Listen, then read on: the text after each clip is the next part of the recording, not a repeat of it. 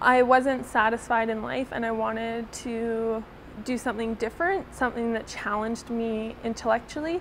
That's why I chose to go into this career path and then I chose a power engineering technology program at SAIT because of their high reputation within the industry. It's so great to come here, the lab, the facility, the instructors. Well, first and foremost, it's the instructors. There's a high quality of instruction, um, instructors with years of experience um, that are willing to help you. I took some of my family members who are um, in oil and gas and who are operators through in, on a tour through the facility and they were just astonished and were like, oh, you're gonna know so much when you're done. so currently I'm working for ConocoPhillips up at their Surmont location by Fort Mac. I was just incredibly fortunate and, and lucky to have the position that I do.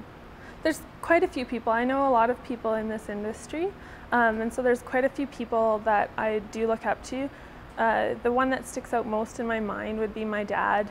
Um, he's been an operator for 35 years, and uh, I call him frequently at the end of the day to discuss to discuss things, and he always gives me his two cents, and I really value his opinion and his input, and learn a lot from him.